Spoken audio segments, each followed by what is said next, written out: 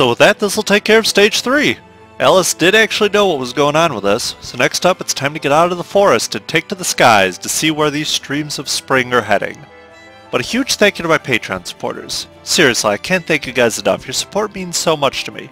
It's thanks to you guys I can keep producing these videos for you all to enjoy. And if you'd like to help support me as well, consider clicking the Patreon link down below. There you can get access to additional polls to help decide what games I play in this channel. Until then, see you all next week for Stage 4 of Fantastic Danmaku Festival Part 2.